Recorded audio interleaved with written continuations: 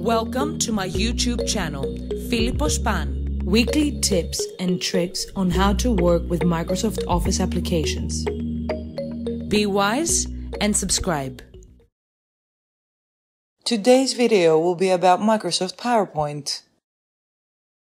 How to create handouts from a Microsoft PowerPoint presentation. What are handouts? When it comes to Microsoft PowerPoint presentations, handouts allow our audience to understand our key points better and for them to remember them afterwards. A handout page consists of three slide thumbnail images on the left side and some print lines for notes at the right of each thumbnail. With handouts, we make sure that the content of an oral presentation can be reviewed after the presentation by the audience.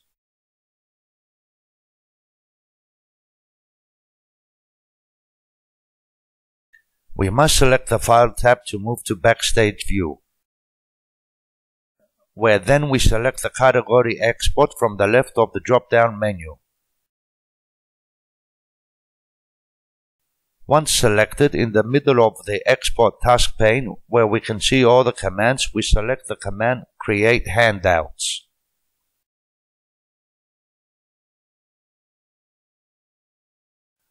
From the right, we are notified. Create handouts in Microsoft Word. Put slides and notes in a Word document. Edit and format content in Word. Automatically update slides in the handout when the presentation changes. Finally, we just press the Create Handouts button.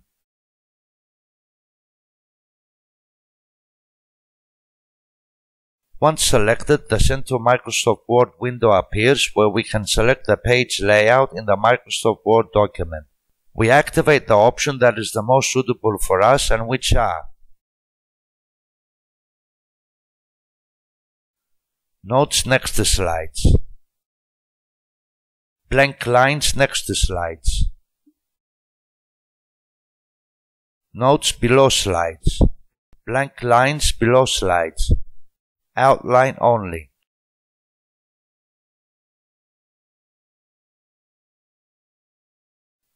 At the bottom of the Send to Microsoft Word document window, we can either select to paste slides to the Microsoft Word document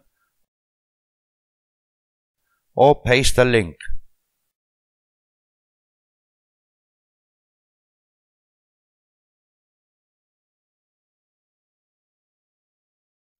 Finally, we press the OK button.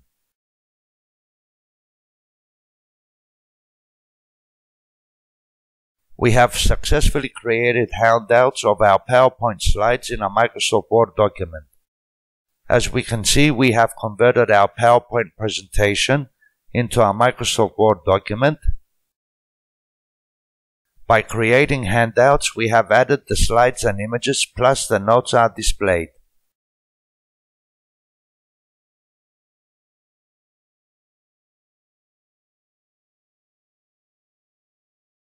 Thank you for watching. If you liked what you saw in this video, go ahead and subscribe to my YouTube channel. If you have any questions or suggestions, head down to the comment section and let me know. Be wise and subscribe.